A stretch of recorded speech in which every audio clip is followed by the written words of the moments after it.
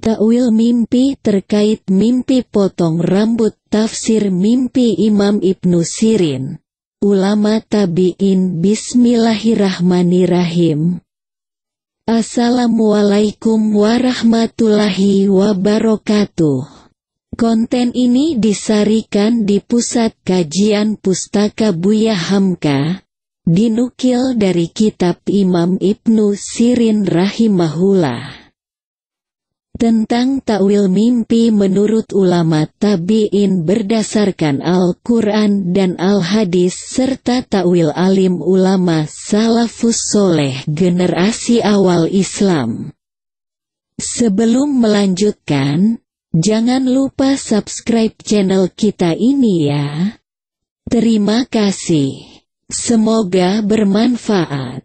Imam Muhammad Ibn Sirin, Ulama tabi'in yang wafat tahun 110 Hijriah jika dihitung dengan zaman saat ini maka sudah lebih 1200 tahun silam tentunya zaman beliau hidup.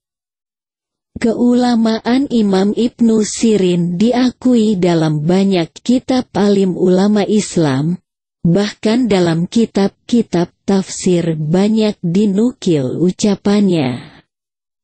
Salah satu karya Imam Ibnu Sirin rahimahullah kitab yang berjudul Tafsir Al-Ahlam, kitab yang memuat tentang kumpulan mimpi-mimpi dan cara memahaminya.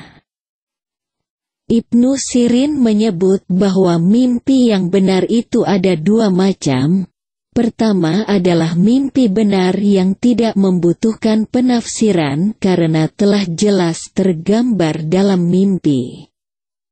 Dan kedua adalah mimpi yang membutuhkan penafsiran ulama, karena ia mengandung hikmah dan makna lain di luar yang dilihat dalam mimpi. Takwil mimpi tentang memotong rambut Imam Ibnu Sirin menjelaskan, arti mimpi memotong rambut orang lain. Untuk Anda yang bermimpi memotong rambut orang lain, selamat. Itu artinya sebentar lagi Anda akan mendapatkan keuntungan yang melimpah dari orang lain. Tentu saja keuntungan yang akan Anda dapatkan di sini gratis alias tanpa modal dan biaya yang harus Anda keluarkan. Mimpi ini sangat erat dengan kehidupan nyata yang diajarkan oleh agama Islam. Yaitu barang siapa yang berbuat baik kepada orang lain, dalam hal ini memotongkan rambut orang lain, maka ia akan mendapatkan imbalan. Jika hal ini terjadi pada Anda, sebagai orang Muslim yang beriman, hendaklah Anda bersyukur. Selain untuk mengucapkan rasa terima kasih, rasa syukur juga bisa menambah nikmat. Seperti yang dijelaskan pada Quran Surah Ibrahim ayat 7, yang berbunyi, Sesungguhnya jika kamu bersyukur, pasti kami akan menambah nikmat kepadamu, dan jika kamu mengingkari nikmatku, maka sesungguhnya azabku sangat pedih. Arti mimpi rambut dipotong orang lain. Berbalik dengan arti mimpi memotong rambut orang lain, jika bermimpi rambut Anda dipotong orang lain. Itu artinya Anda akan berpisah dengan orang lain. Orang lain yang dimaksud di sini adalah orang lain yang benar-benar Anda sangat sayangi, seperti orang tua, pasangan, keluarga atau sahabat karib. Hal ini berlaku perpisahan karena kematian ataupun berpisah karena suatu hal untuk waktu yang sangat lama.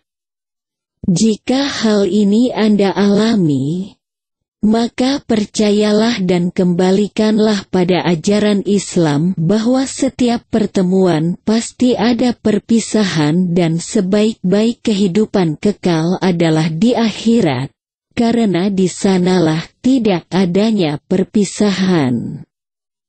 Hal ini seperti yang telah dijelaskan pada Quran Surah Al-Mukmin ayat 39 yang berbunyi Sesungguhnya kehidupan di dunia ini hanyalah kesenangan. Sementara, dan sesungguhnya akhirat itulah negeri yang kekal. Arti mimpi potong rambut di tempat tukang potong rambut atau salon di zaman kita ini. Jika arti mimpi yang berhubungan dengan potong rambut lainnya sudah jelas artinya maka lain dengan arti mimpi potong rambut di salon.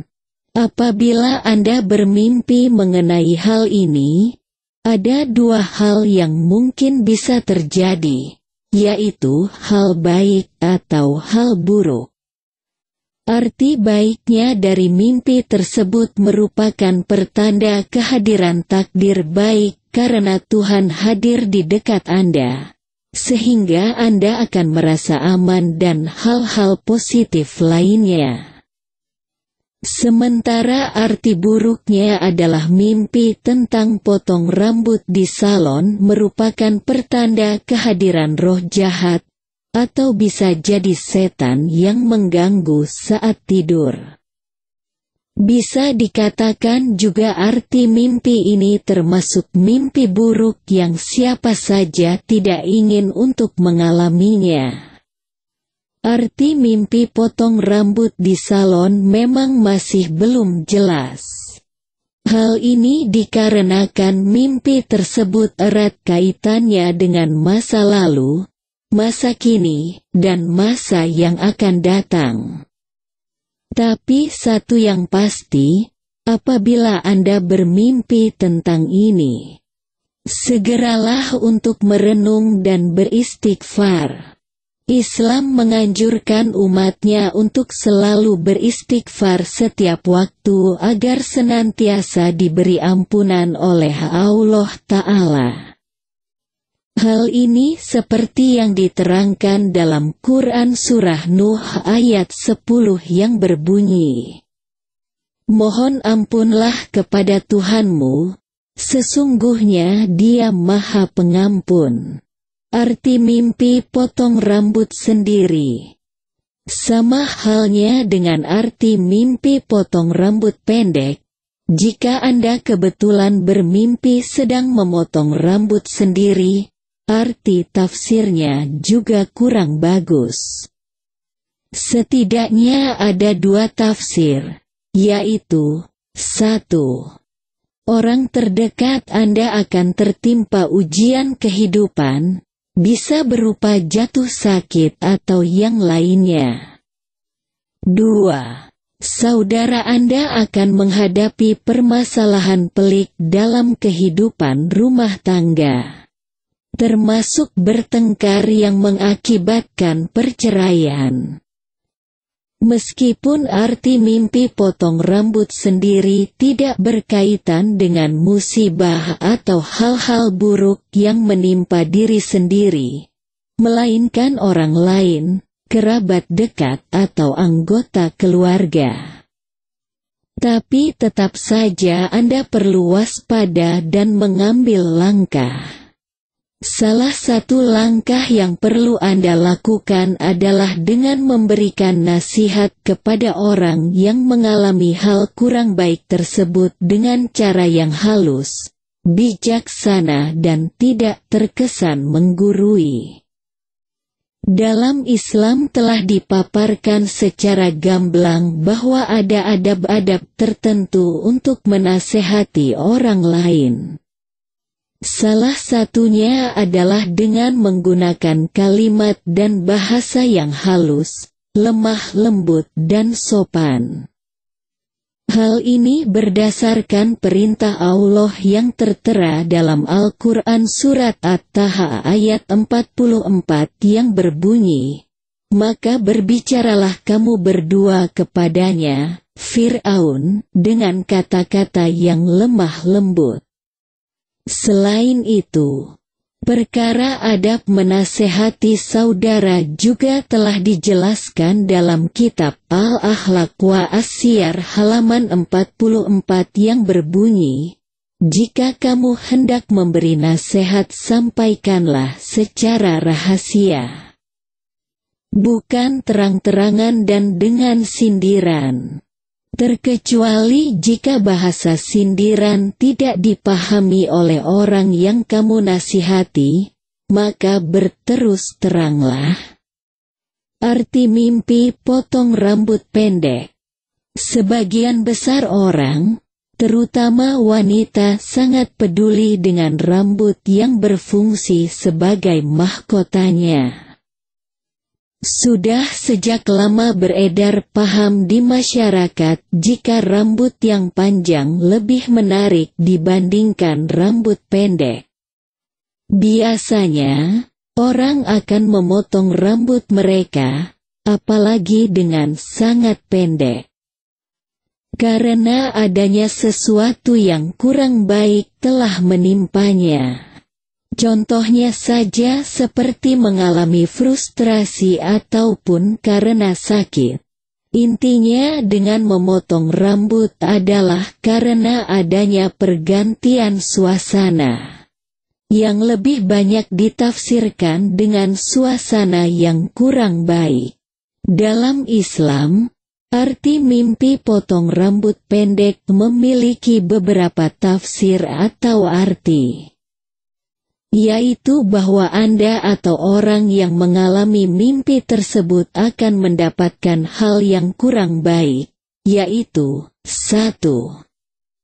Krisis percaya diri 2. Melemahnya sendi-sendi keuangan 3. Penurunan jabatan gaji atau hal lain yang ada hubungannya dengan pendapatan atau pekerjaan. Selain tiga di atas, mimpi potong rambut pendek juga diartikan dengan adanya seseorang yang hendak berniat buruk terhadap Anda. Jadi, jika Anda mimpi tentang hal ini, sebaiknya waspada dalam segala hal, terutama pada hal-hal yang telah dijelaskan di atas. Meskipun demikian, Tentu saja Anda tidak boleh bersuzon atau berprasangka buruk terhadap orang lain. Islam selalu mengajarkan umatnya untuk berhusnuzon yaitu berprasangka baik. Hal ini telah diterangkan dalam Al-Quran Surat Al-Hujurat ayat 12, yang artinya, Hai orang-orang yang beriman, Jauhilah kebanyakan berprasangka. Karena sesungguhnya sebagian tindakan berprasangka adalah dosa. Jadi sikap yang harus Anda persiapkan jika bermimpi mengenai hal ini adalah waspada tanpa harus berburuk sangka terhadap orang lain. Selain itu, tetap bertawakal kepada Allah. Karena sesungguhnya Allah maha penerima tobat lagi maha penyayang. Arti mimpi melihat orang potong rambut. Apabila Anda bermimpi melihat orang potong rambut, itu artinya Anda, kemungkinan, akan menyaksikan orang terdekat Anda atau orang yang Anda sayangi akan mengalami hal buruk, termasuk menderita sakit. Apabila mimpi Anda mengenai hal ini menjadi kenyataan, misalnya saudara Anda tiba-tiba jatuh sakit, maka berilah nasihat bahwa sakit bisa menjadi penggugur dosa jika kita sabar iman dan tetap percaya bahwa takdir baik maupun buruk dari Allah lah datangnya dan Allah pula lah yang bisa menghapus segala sakit dan derita umatnya. Hal ini seperti yang telah dijelaskan pada Al-Quran Surat Al-Baqarah ayat 155 hingga ayat 157 bahwa setiap ditimpa sakit ataupun musibah, manusia beriman wajib bersabar dan ridho. Jika keduanya telah dilakukan, maka musibah tersebut bisa menjadi penggugur dosa.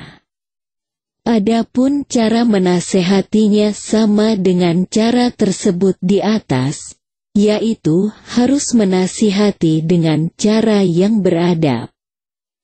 Demikianlah enam arti mimpi potong rambut menurut Islam, pendek, sendiri, orang lain di channel Buya Hamka ini. Islam adalah agama yang mengajarkan tauhid kepada umatnya. Setiap muslim wajib mempercayai jika Allah lah satu-satunya yang bisa berkehendak mengenai takdir atau nasib hambanya. Meskipun Islam pun mempelajari banyak hal, termasuk tentang ilmu pengetahuan dan juga tafsir mimpi. Namun sebagai orang muslim, serahkan segala urusan kepada Allah dengan berdoa dan berikhtiar sekuat tenaga kita menuju keadaan lebih baik.